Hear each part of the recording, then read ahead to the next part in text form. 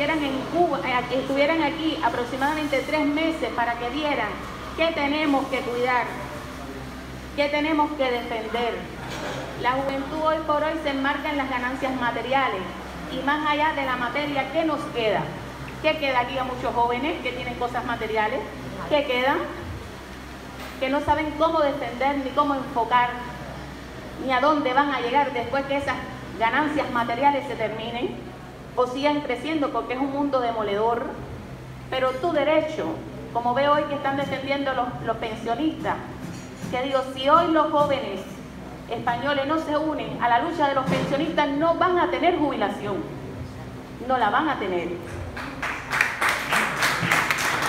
Y, desde, ese, desde ese marco, sin criticar las diferentes etapas por las que pasa cada sociedad, porque todas son diferentes, hoy le doy las gracias una vez más a esta persona que se ha dedicado a, que la realidad cubana se expanda por parte del mundo y, quisiera pedir que este documental se repitiera en las universidades de Cuba y si es posible se haga un resumen de hoy, la cantidad de personas que hoy aquí han compartido la realidad cubana y que defienden y están de acuerdo en lo que hemos conquistado y lo que tenemos que defender.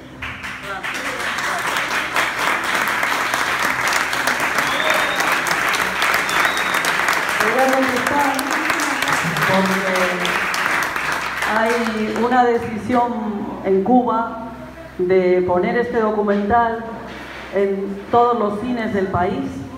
el documental ya ha sido visto en la televisión cubana dos veces por el homenaje de la Federación de Mujeres Cubanas y se quiere llevar a los barrios, o sea que eso ya está hecho. En Cuba lo van a hacer. Hola.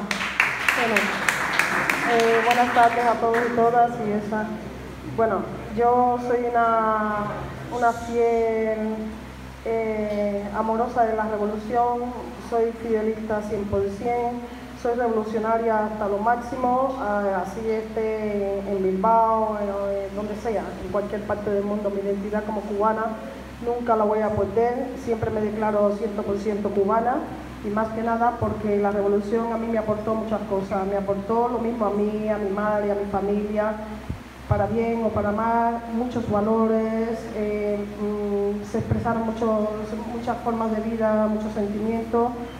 Eh, para mí la revolución fue una oportunidad como mujer, eh, tener esa oportunidad de igualdad entre hombres y mujeres, es decir, estudiar lo que yo quisiera, trabajar en lo que yo quisiera y compartir espacios con hombres y mujeres con el mismo sentimiento de igualdad.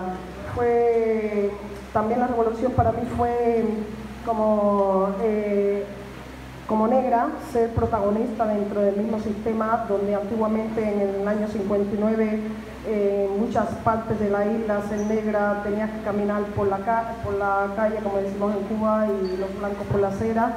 Es decir, eh, fueron muchas oportunidades que hemos tenido donde mm, agradecemos ese sentimiento de igualdad que dio esa oportunidad a la revolución.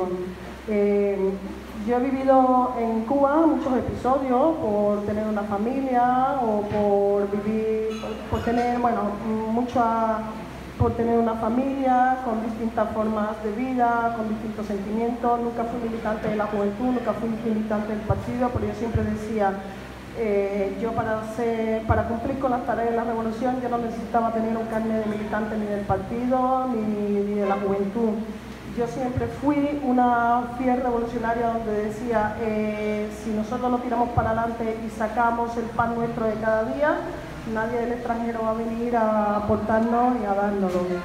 Eh, el, episodio que vivimos, por ejemplo, en el periodo especial en el, en el año 93 fue lo más crucial que hemos vivido y lo que más te marca es verdad que a mí me cogió en una edad donde podía razonar y hay muchos jóvenes en Cuba, por así decirle, que le, pilló en la, preadolescencia o en la adolescencia, donde le hemos llamado que esos fueron los que sufrieron un poquito más la consecuencia de, ¿cómo se llama?, del periodo especial, donde supuestamente no iban a entender ni a comprender por qué esto se daba.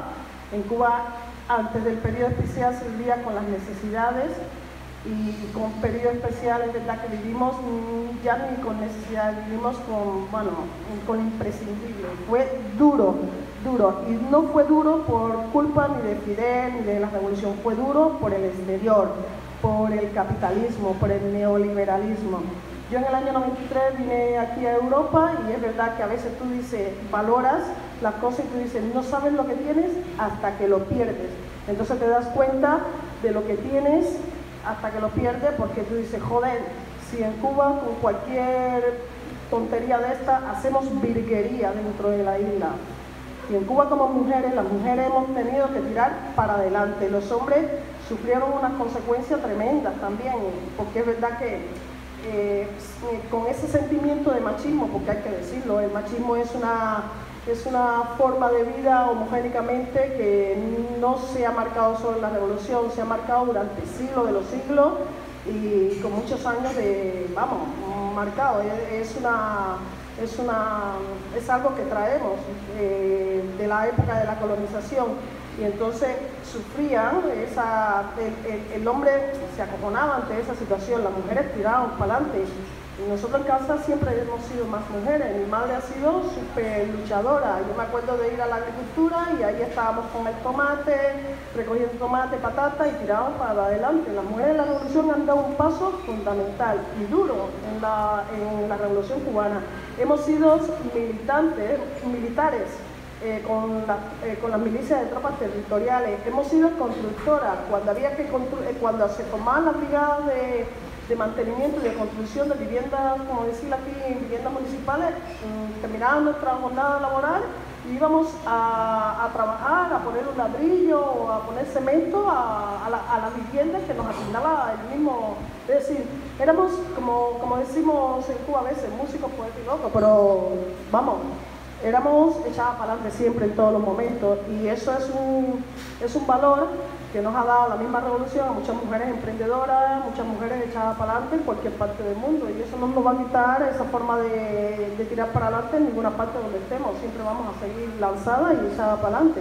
Y hoy por hoy hay un sentimiento, echamos en falta esa reflexiones de nuestro comandante y yo siempre digo, y hoy por hoy me quedo con, una reflexión, por ejemplo, me gusta una reflexión, por ejemplo, de Fermín Salvechea, que, que, que, a veces digo, que dice, mi patria es el pueblo, mi religión es hacer el bien, mi familia la humanidad. Hoy por hoy la revolución también nos ha dado esa forma de cómo saber estar en el término medio sin estar en un extremo ni en el otro. Es decir, nos ha dado capacidad de análisis, de comprensión y de empatía. Y por hoy, por eso somos un pueblo que evoluciona continuamente en el bienestar del mundo, de la solidaridad y de, la ciudadanía como tal. ¿Vale?